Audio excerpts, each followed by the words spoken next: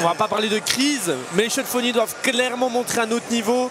Et ça passe dès ce soir avec ce match contre le, leader tout simplement de Swiss League. Mais c'est également euh, aux autres lignes hein, de, pouvoir montrer. C'est vrai que la, troisième, attention, cette action, ce tir de la part de Victor Barman, le Suédois, et quel arrêt de Victor Oslund. Et le HCC euh, qui peut maintenant se montrer à l'attaque avec un tir. Et c'est Marc Schliman qui ouvre le score ici au Malaise. Faut mettre les pucks au but pour marquer. Euh, je crois si, hein. tout à fait si, je ne fais erreur. Ouais, tout à fait. Oh là là, oui, en effet. Ackerman et Barbeil. Ackerman qui revient derrière Pronderson. Nussbaumer Arnaud Nussbaumer qui trouve la faille sur cette action de rupture du HCC. Nussbaumer, mais faut la mettre. Ouais, alors faut la mettre hein, dans le mouvement avec le déplacement de Tsumbul.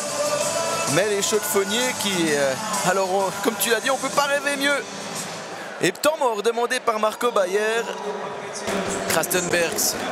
Krastenberg le centre Aïe aïe aïe Ackerman qui avait euh, surgi. De, de euh, sur.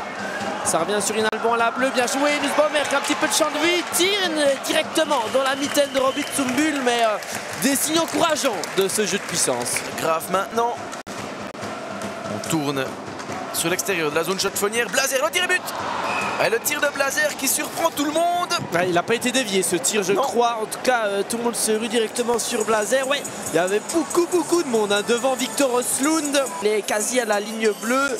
En one-timer, il prend sa chance et... Euh, est-ce que Victor, Victor Oslund ne voyait ah, sûrement pas grand chose il y avait. Euh, oh, il y a trois jeux de faunier sur la même ligne.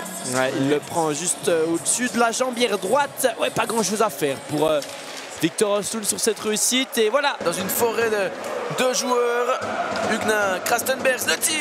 Et Renard Krastenbergs qui démontre qu'il a un tir sur réception puissant. Sunbergs et Ackerman masqué euh, bien Tsumbul. Est-ce que Tsumbul ne touche quand même pas un petit peu Spuck Alors on va revoir. Ah ouais, c'est le défenseur qui touche aussi. Jackson qui arrive à garder Spuck, qui remet sur Inalbo, qui tire directement au Spuck oh Et quel arrêt de Tsumbul face à cet essai de Stoffel qui avait pu reprendre le rebond.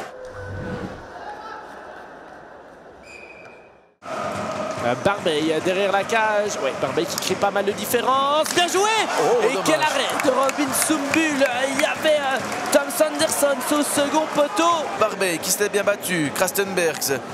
Krastenbergs, Hugnin, Barbeil, Anderson. Barbeil le tire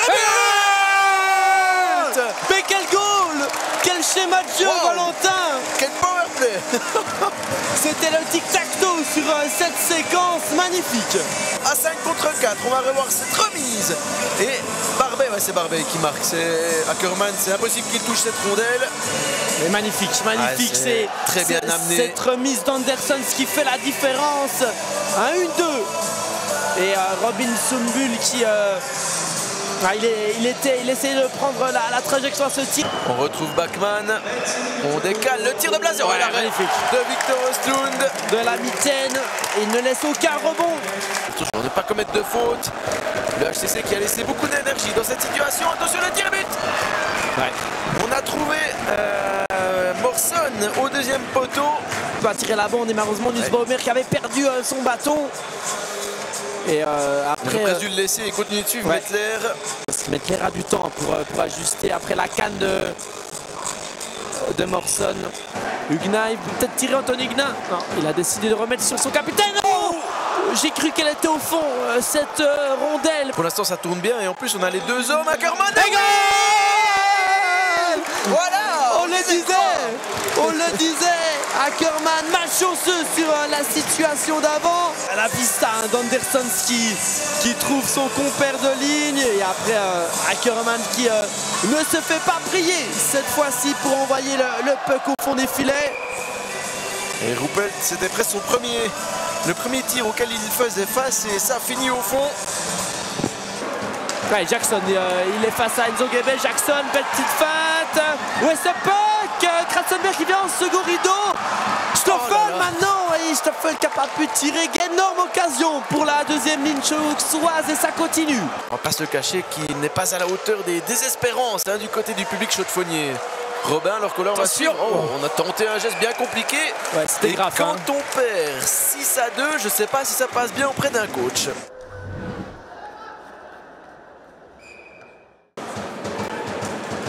Ça se joue. euh, Bataille dans l'arrondi qui sera gagnée par les Uriquois. Il y a un 2 contre 1 à jouer avec Robin Léonet qui peut se projeter. Léonet qui peut trouver un homme qui euh, loupe la cage vide. Jackson maintenant pour les chaudefonniers. Jackson, on à la limite de hors-jeu. Le tir Jackson. Et Ruppelt qui s'interpose. Huxter. Huxter le tir d'Huxter du back-end. Ce peu qui revient. Huxter encore. Il insiste. euh, David Huxter. Murer qui a pu mettre sur Guébet. Bon espace de Guébet qui euh, permet à Yannick Lucy de pouvoir partir tout seul. Loosely. Oh, dommage. Ouais, la latte, la latte de, de Sacha Ruppelt qui est trouvée. Huxter qui est allé gêner. Maintenant, au tour de Privé de remettre une couche. Et Huxter a pu récupérer. Huxter, et dommage, Ruppelt. Et retour sur la glace maintenant de Gianluca Barbey. Et on va même pouvoir repartir directement. Barbey tout seul sur cette ouverture d'Ackerman. Et dommage, c'est peu qui est arrêté par Ruppelt.